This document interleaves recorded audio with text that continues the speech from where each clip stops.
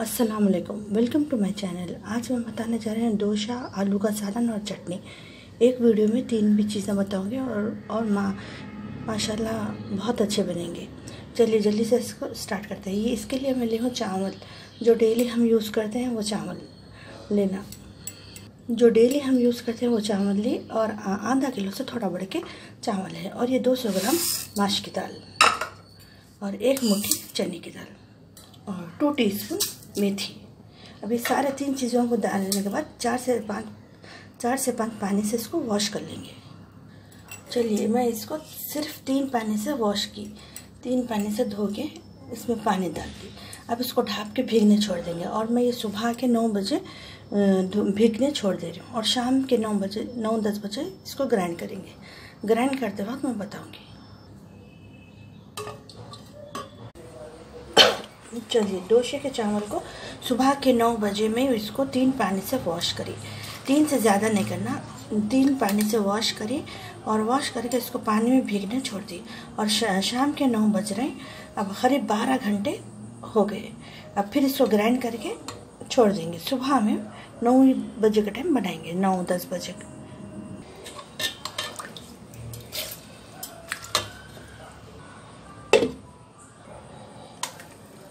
इसको बिल्कुल fine paste नहीं बनाना, हल्का सा दर दर दरदरा रहना, हल्का सा दर दरदरा बिल्कुल फाइन पेस्ट नहीं, ज़रा हल्की सी कनी। कनी ज़्यादा भी नहीं रहना लाइट रहना। अगर ज़्यादा कनी रहेंगे तो सख्त हो जाते सख्त, अगर हल्की सी कनी रखेंगे तो क्रिस्पी बनते एक ट्रिप में तो दो से नहीं बन ग्राइंड नहीं होते, दो से तीन ट्रिप्स करना पड़ता है। ये दूसरी ट्रिप है, मेरे को कम से कम तीन ट्रिप में पीसना पड़ेगा। चलिए मेरी ये लास्ट ट्रिप है, इसमें रही हूँ मैं खाना, जो घर में हम डेली पकाते, वो जो खाना रहता वो खाना वन टेबल स्पून फुल के करीब ज़्यादा नहीं डालना और जो भीगे हुआ पानी एक्स्ट्रा जो बच गया, इसको फेंकना नहीं। ग्राइंड करते वक्त यही पानी डाल के ग्राइंड करना, अगर ग्राइंड करने के बाद भी बच गया तो जो बैटर हम बनाए, उसमें डाल देना। ये पानी से ही डोसे अच्छे बनते हैं, इसको फेंकना नहीं। चलिए लास्ट ट्रिप भी हो गई। चलिए, अब सुबह के नौ बजे में भिगाई थी और शाम के नौ बजे टाइम इसको ग्राइंड कर ली। अभी इसको ढाप के रख देंगे और नमक सुबह में डालेंगे। फिर सुबह में के नौ बजे इसको तैयार करेंगे और बारह घंटे से भीगने छोड़ देंगे।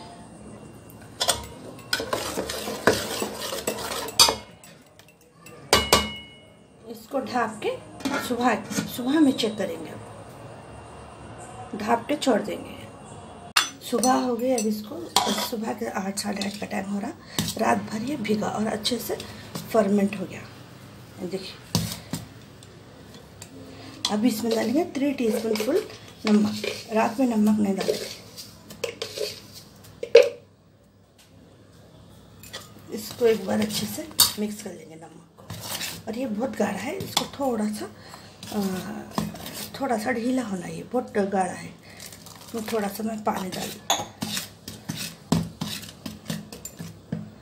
चलिए, ये बराबर हो गया.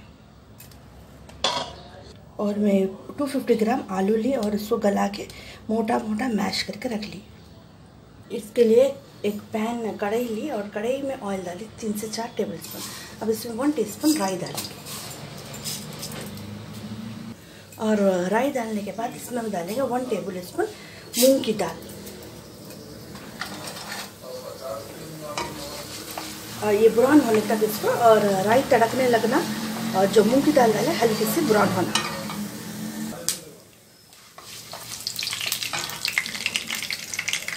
मूंग की दाल ब्राउन होने लगे, अब इसमें डालेंगे प्याज। प्याज डालेंगे थ्री मीडियम साइज़ के डलियों को थ्री मीडियम साइज़ के डलियों को मोटा मोटा कट कर लिया। ज़्यादा मोटा नहीं, थोड़ा सा कट कर लिया। अब इसमें दो हरी मिर्चियों को बारीक कट कर लिया और कुछ करिया पत्ता सकता है अब इसमें डालेंगे वन टी स्पून अदरक लहसुन। और एक हाफ़ टी स्पून हल्दी। वन टी स्पून नमक। नमक थोड़ा सा मैं जो आलू मैश करके रखी उसमें भी मिलाई वन टी स्पून इसको अच्छे से मिला लेंगे।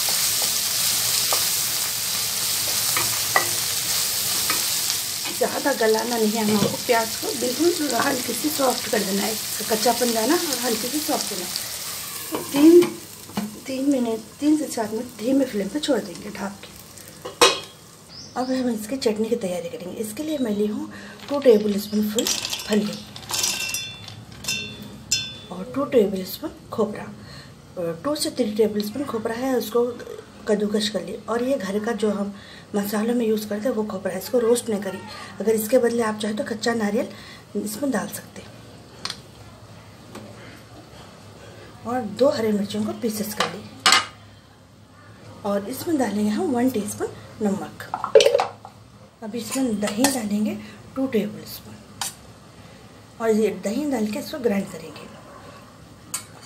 थोड़ा सा अगर ग्राइंड होने मुश्किल हो तो हल्का सा इसमें पानी डालेंगे। अब इसमें कोतमीर डालेंगे।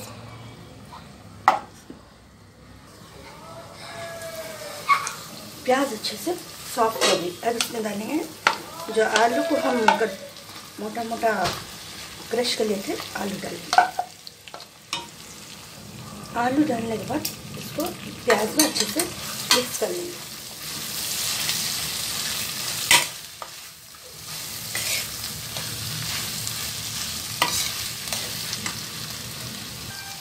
चलिए इसमें थोड़ा सा मैं पानी डाल दूँ।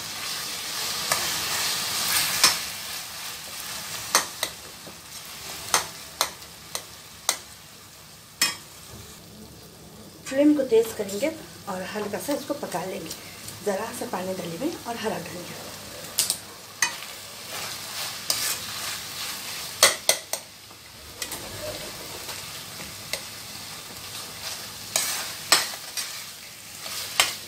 प्याज को साबित ही रखना है गली गली भी, रहना लेकिन साबित रहना बिल्कुल नरम सॉफ्ट रहना।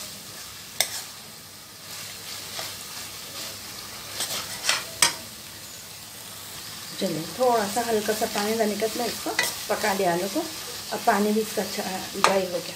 अरे, अच्छे से बन गया आलू का साल जो दोषी के साथ हम खाते होटलों में। उसी तरह बना और इसकी स्मेल और राई और मूंग की दाल से इसमें बहुत अच्छी स्मेल आती। चलिए फ्लेम को बंद कर करके इसको साइड में रख देंगे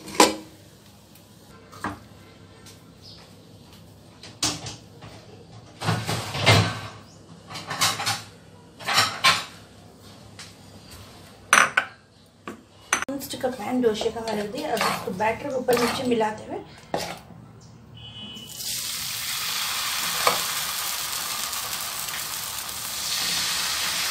तो हल्के से गोल फिराते देंगे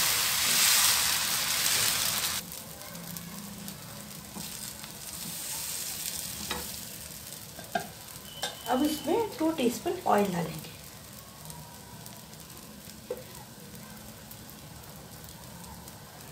और इसको बड़े थाले से अच्छे से ढाप देंगे। एक मिनट तक इसको ढाप ढाप के रखेंगे, एक मिनट के निकालेंगे ढक्कन। चलिए, एक मिनट हो गया इसका ढक्कन निकाल के इसको खुला पकाएँगे।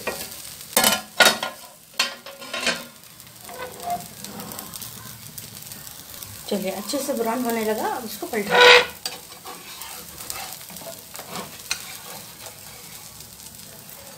देखिए, माशाल्लाह, बहुत अच्छा बिल्कुल रेस्टोरेंट में मिलते हैं दोषे उसी तरह।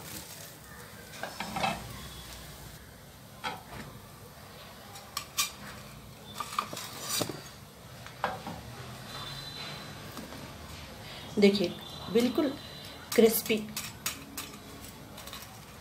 क्रिस्पी बना, जैसे हम रेस्टोरेंट में खाते, उसी तरह से।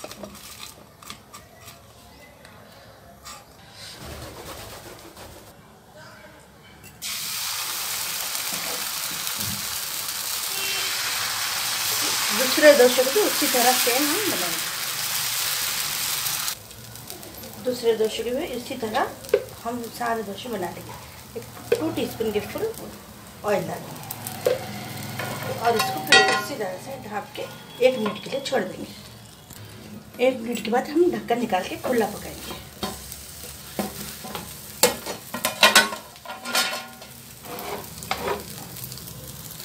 चलिए ऊपर से सारा ब्राउन नज़र आ रहा है। इसको हल्के से पलटा लेंगे